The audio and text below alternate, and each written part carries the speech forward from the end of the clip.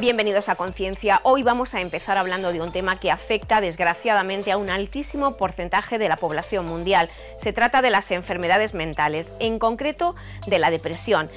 ¿Qué ocurriría si pudiéramos prevenirla en lugar de simplemente tratarnos con fármacos con muchísima toxicidad y efectos secundarios que no siempre les viene bien a todos los pacientes? Sobre esto vamos a hablar con Manuel Narváez. Él es doctor en medicina en la Universidad de Málaga e investiga en el campo de la neurociencia una nueva combinación de fármacos muy beneficiosa.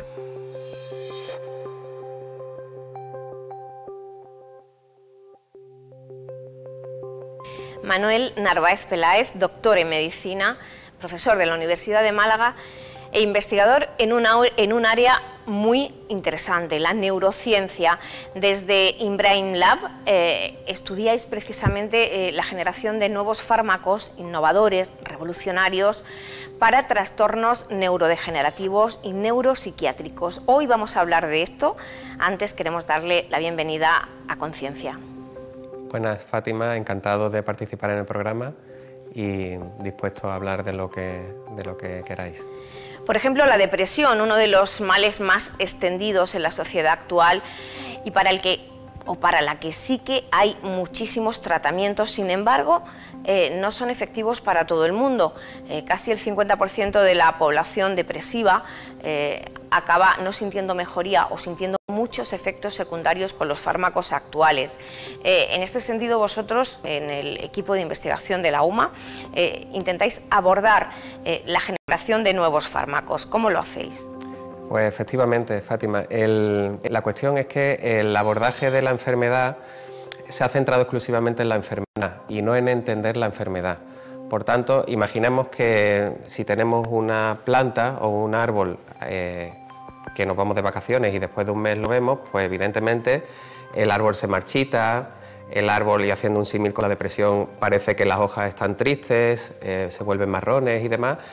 Y si nos fijamos exclusivamente en las hojas y analizamos la hoja, la clorofila, tratamos de aumentar la hidratación de la hoja exclusivamente y demás, no entendemos lo que le pasa realmente al árbol, que sería lo que le pasa a un cerebro eh, de un paciente deprimido.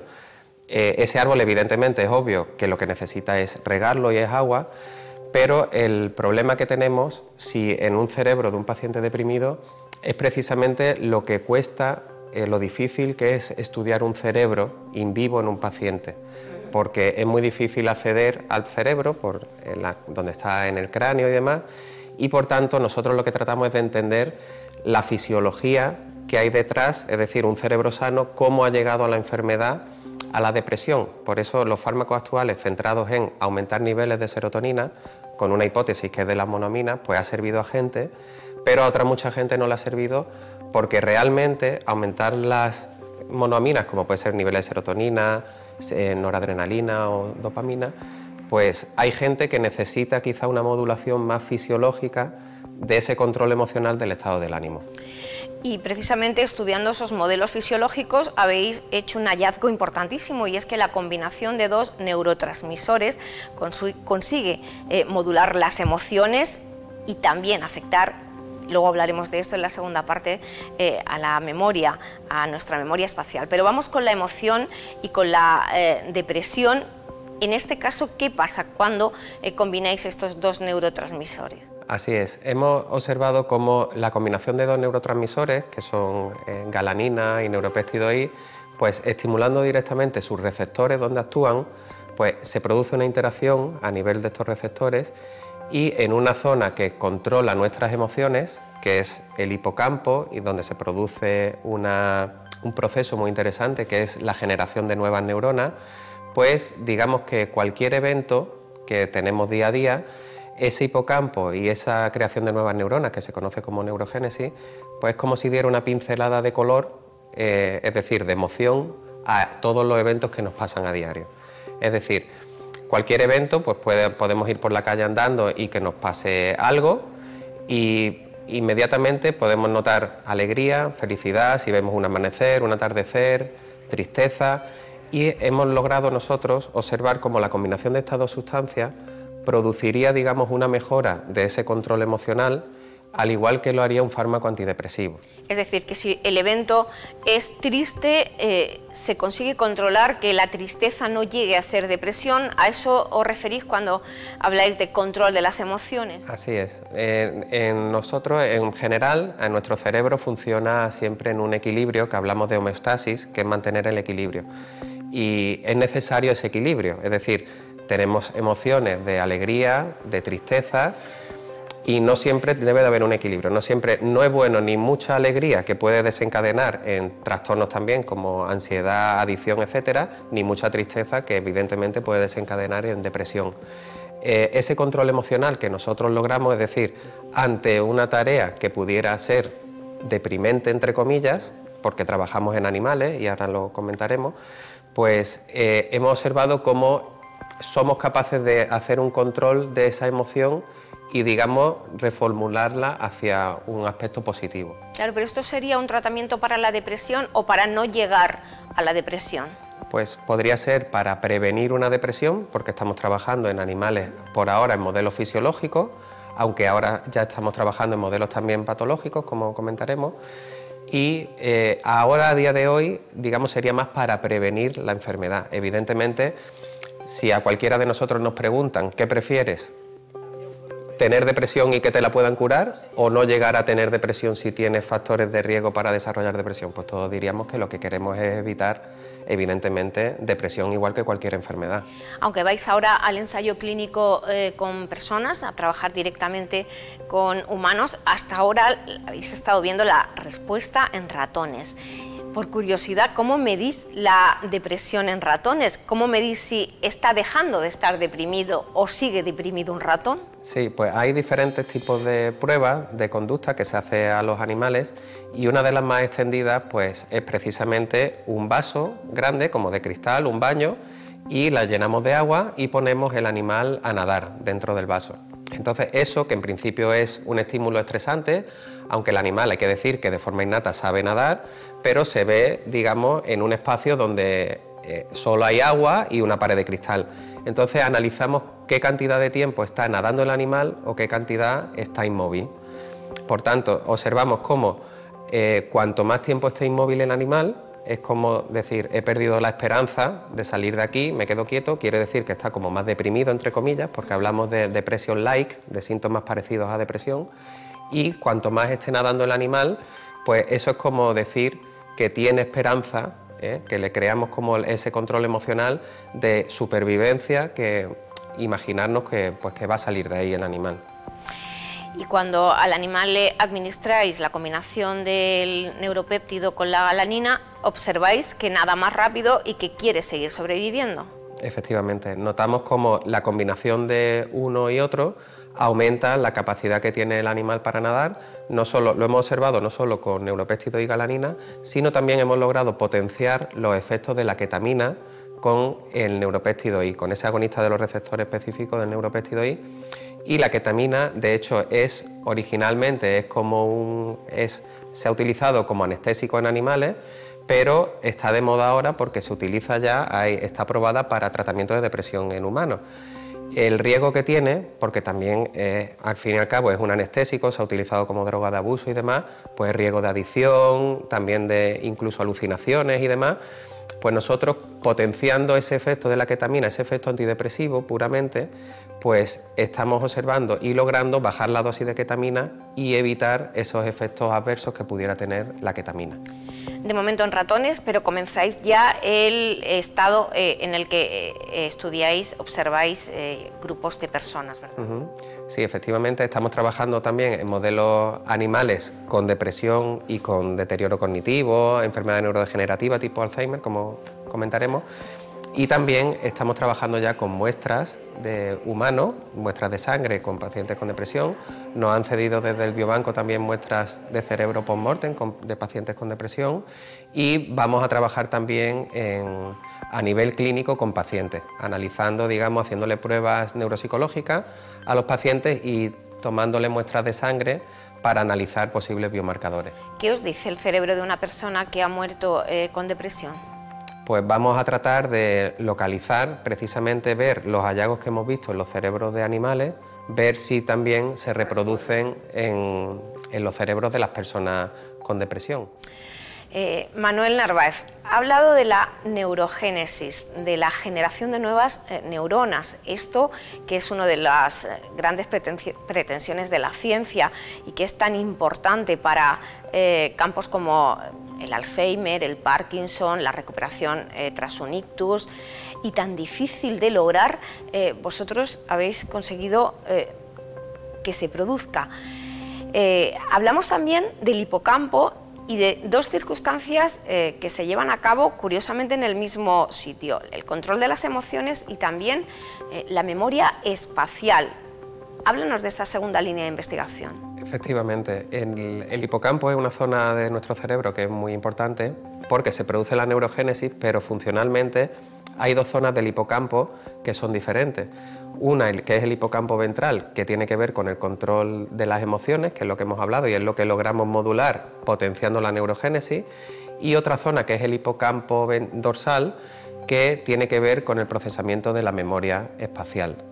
Entonces, cualquier evento que tenemos nosotros en nuestra vida se filtra, digamos, a través de nuestro cerebro, pasa por el hipocampo y, como hemos comentado antes, se le da una pincelada emocional y luego también se procesa a nivel hipocampal pues, para funciones tan importantes de la memoria espacial como puede ser saber dónde hemos dejado las llaves en casa, por ejemplo, dónde hemos aparcado el coche o orientarnos en el espacio que evidentemente cuando hay una enfermedad neurodegenerativa tipo Alzheimer se va perdiendo esa capacidad y es donde vienen los sintomatología y los problemas de los pacientes.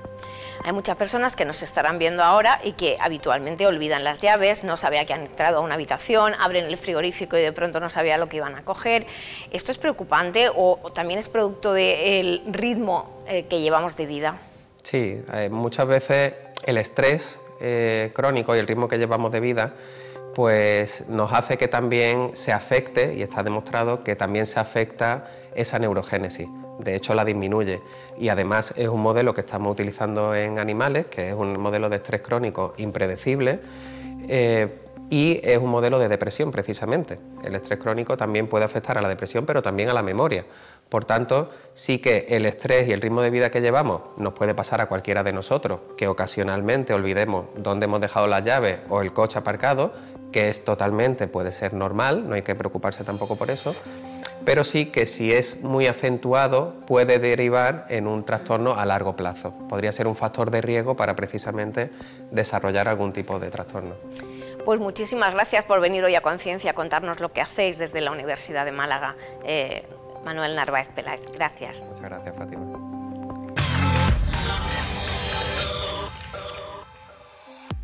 ¿Saben ustedes lo que son los neutrinos? Los físicos las llaman partículas fantasma. El por qué nos lo va a explicar enseguida dos equipos diferentes de la Universidad de Granada que trabajan en proyectos de primerísimo nivel tanto en Europa como en Estados Unidos. Vamos a ver qué papel cumplen los neutrinos en el universo.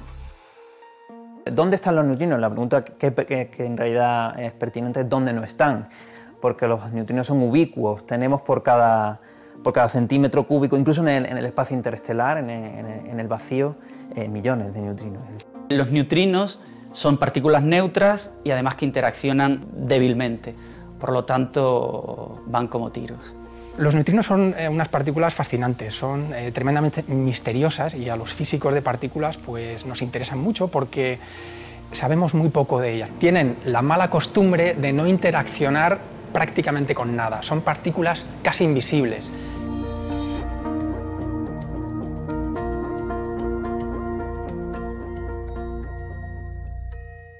Este dispositivo que ven a mis espaldas forma parte de un telescopio de detección de neutrinos.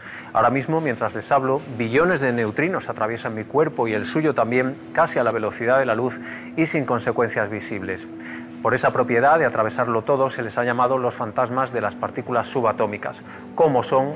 ¿De dónde vienen? ¿Pueden ser útiles para el ser humano? Son preguntas que se hacen dos equipos especializados en neutrinos de la Universidad de Granada.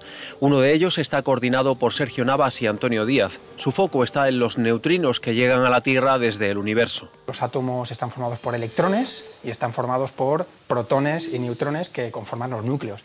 Estos protones y neutrones, a su vez, están formados por quarks. De modo que las partículas elementales que conocemos las podemos clasificar en dos cajas. Una caja serían los quarks, hay seis, y otra caja serían los leptones, que tenemos otros seis leptones. Bueno, en esta caja de los leptones está el electrón, está el muón y está el tau. Tienen un nombre muy curioso, muy divertidos.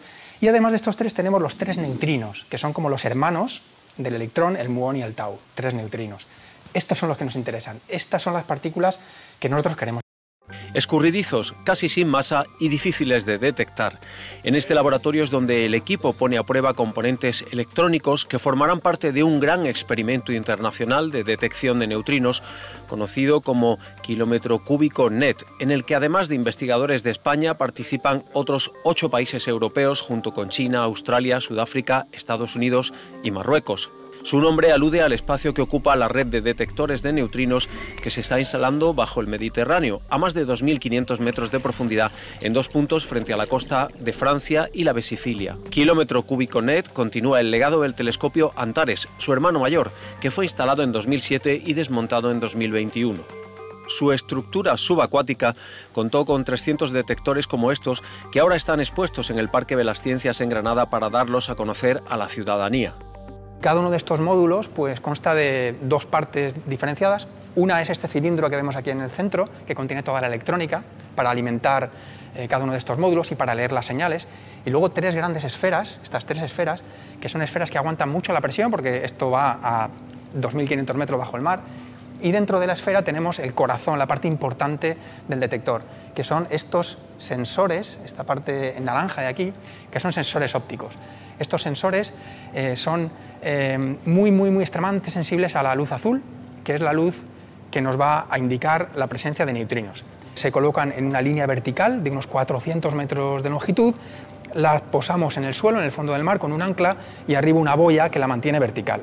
Entonces lo que hacemos es distribuir muchas líneas llenas de estos módulos a modo de red, de gran red, de modo que cualquier neutrino que pase por en medio lo pescamos la experiencia previa con Antares ha servido para optimizar y mejorar el nuevo telescopio Kilómetro Cúbico NET, que está aún en construcción, pero que ya tiene módulos operativos detectando neutrinos. La diferencia fundamental entre los dos es que en el caso de Antares teníamos un gran sensor eh, de luz, de este tamaño y en el caso de kilómetro cúbico lo hemos instituido por 31 sensores pequeños de luz. Es como tener una cámara de un píxel o tener una cámara de 31 píxeles. El mecanismo de, detección de neutrinos es bastante sencillo de, entender. Eh, el neutrino va a atravesar toda la Tierra, va a interaccionar en el agua y va a generar una partícula secundaria que llamamos muón. Este muón es una partícula ultra relativista, va muy deprisa, va tan deprisa que corre más que la luz en el agua y en ese camino que recorre el muón emite luz, mediante el efecto que conocemos como efecto Cherenkov, emite luz azul. Esa luz azul es la que eh, es detectada por estos sensores de luz. Esta es la razón por la que estos sensores miran hacia abajo. Nosotros colocamos el planeta como barrera, nuestro detector debajo del agua, todo el planeta Tierra, y buscamos neutrinos que hayan podido atravesar toda la Tierra, que son muy pocos. Al final eh, conseguimos un puñado de estos neutrinos, pero necesitamos forzarles a interaccionar en la Tierra. Mira, este es el suceso. Cuéntame, cuéntame. Que te comentaba, mira. Ese suceso de alta energía que hemos, hemos visto. Uf. Entonces, estamos viendo ahora sobre todo por dónde, cuál es el ángulo de, entrada, para saber si es atmosférico o puede ser un neutrino. Lo que estamos midiendo son fotones que se van propagando por el fondo del, mar. Entonces, para poder reconstruir la traza que tiene ese fotón, tenemos que saber los fotomultiplicadores en qué momento han recibido la información de, lo, de cada fotón.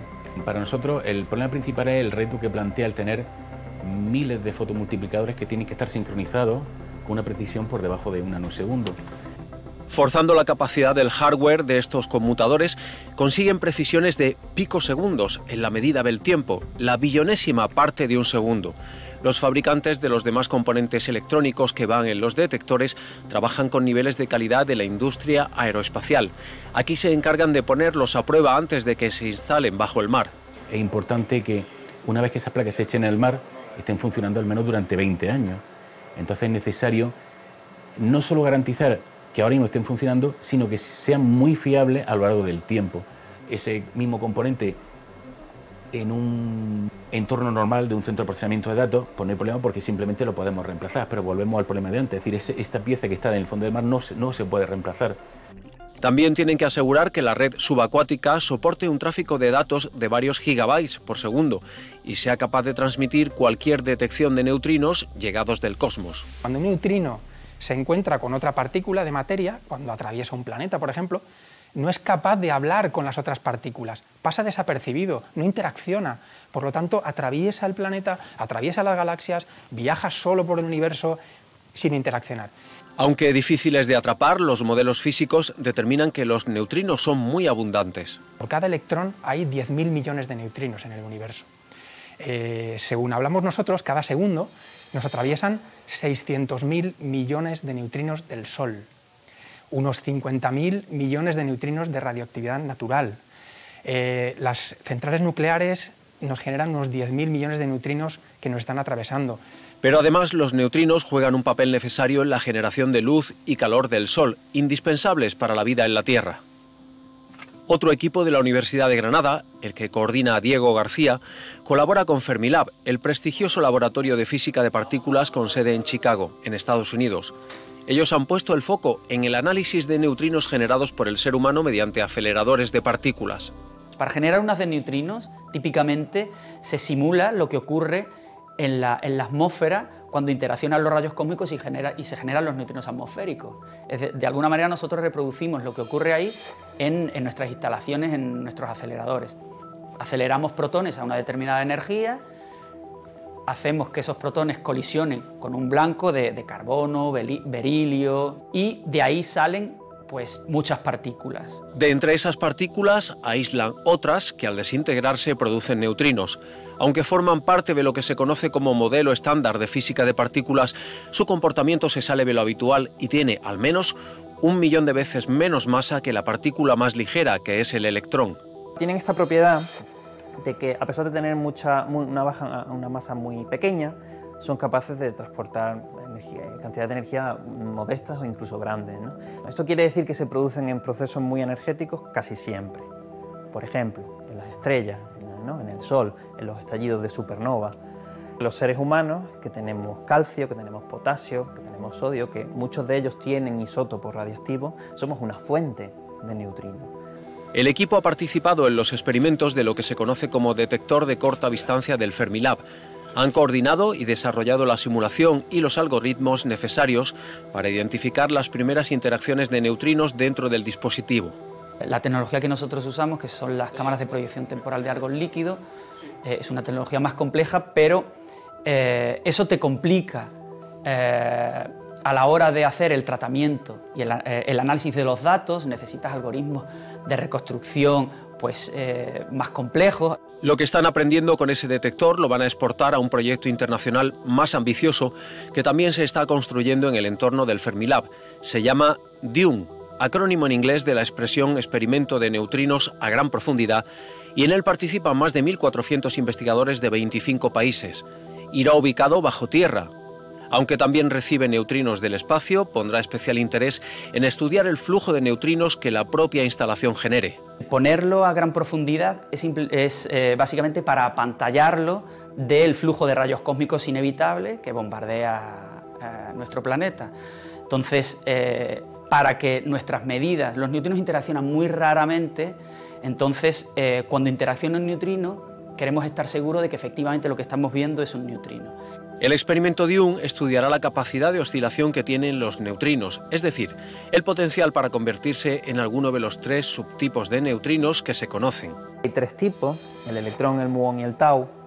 Lo que ocurre es que uno puede producir un haz, un, chorro, por así decir, de neutrinos de un, determinado tipo, por ejemplo del muón, y que pasado una cierta distancia se hayan transformado en otro tipo. Los neutrinos atraviesan la Tierra. Para los neutrinos la Tierra es esencialmente transparente. En el caso de Dion estamos hablando de 1.300 kilómetros. La distancia entre la fuente de neutrinos y el detector lejano que llamamos de, de eh, es de 1.300 kilómetros. De hecho, eh, el haz de neutrinos se genera en Fermilab, que está junto a Chicago, y el detector lejano está en Dakota del Sur, un kilómetro y medio bajo tierra. El experimento Dune se va a construir en dos fases. La cavidad bajo tierra ya está excavada. Ahora se trabaja en la instalación de su gigantesco detector de neutrinos, compuesto de varios módulos que se llenarán de gas argón en estado líquido a 200 grados centígrados bajo cero. El detector va a tener una capacidad de 40.000 kilotoneladas. Para que hagáis una idea, esas 40.000 kilotoneladas de argón van a estar distribuidas en cuatro megatanques. Para que os hagáis una idea del tamaño de un tanque, o sea, cada tanque va a tener unas dimensiones de 20 metros de alto, 20 metros de ancho y 60 metros de largo. Aproximadamente cada tanque de los que vamos a tener en Dune es como esta nave en la que nos encontramos ahora mismo. Como los detectores son tan grandes, la producción de los elementos, la producción de las paredes, los sensores, de todo lo que vais dentro, ha tenido que empezar mucho antes. De hecho, para que os hagáis una idea en número, en el primero de los módulos de Dune van a ir 300.000 sensores de luz. En la mayoría de los experimentos estamos migrando a estos dispositivos, que son una tecnología diferente, una tecnología de estado sólido, son dispositivos que básicamente es silicio compacto, que nos permiten hacer prácticamente lo mismo, pero como veis, en un espacio mucho más reducido. Y básicamente eh, hacen lo mismo, son capaces de detectar fotones de forma individual. Pues Rubén, vamos a rellenar el tanque de nitrógeno. Cogemos los guantes y rellenamos el tanque. La tarea de probar los primeros 300.000 sensores, que tendrán que funcionar a menos 200 grados de temperatura, se ha repartido en cinco laboratorios de Europa. Uno de ellos es este de la Universidad de Granada.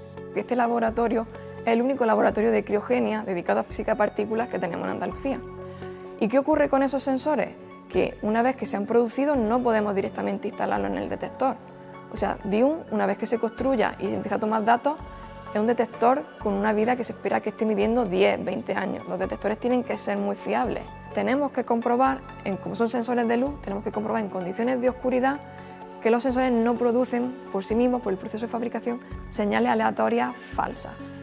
Es tecnología de alto nivel la que están desarrollando tanto en el proyecto Dune en Fermilab como en el kilómetro cúbico NET en Europa, que acabará generando nuevas utilidades para el conjunto de la sociedad los dispositivos que aquí tenemos para medir, o sea, tenemos que utilizar un montón de desarrollos tecnológicos, de electrónica, que eso luego puede tener una aplicación en otros sectores industriales. incluso nuestros algoritmos de, simulación y reconstrucción, como nosotros eh, trabajamos en interacciones de radiación con la materia, pues eh, las pruebas muchas, de, muchas pruebas médicas se basan precisamente en eso. Y ya estamos pensando en el futuro. Ya la electrónica que estamos utilizando hoy en día sabemos que en 10 años se habrá quedado obsoleta y estamos ahora pensando en pues, cómo eh, mejorar para conseguir pues, eh, cada vez eh, responder a estas preguntas que, que, nos hacemos todos los días. Queremos entender cuál es el origen de la materia o, si quieres dicho de otra manera, por qué el universo fundamentalmente está compuesto de materia y no de antimateria. Y los neutrinos tienen la llave, son realmente la clave para responder a estas preguntas que el modelo estándar no es capaz de responder. Por eso queremos estudiar estos neutrinos. Profundizando en el conocimiento de los neutrinos desde la Universidad de Granada, los científicos que colaboran con los proyectos Dune y Kilómetro Cúbico Net esperan entender mejor cómo funciona el universo y el origen de la materia. Investigaciones en la frontera del conocimiento que pueden llevar a la ciencia a nuevos caminos insospechados. Hasta aquí nuestro programa hoy, pero en siete días ya saben que volvemos a la Radio Televisión Pública de Andalucía, aquí a Canal Sur, para explicarles qué hacen nuestros investigadores y nuestras investigadoras. Hasta ese momento podemos vernos cuando quieran ustedes en Canal Sur Más.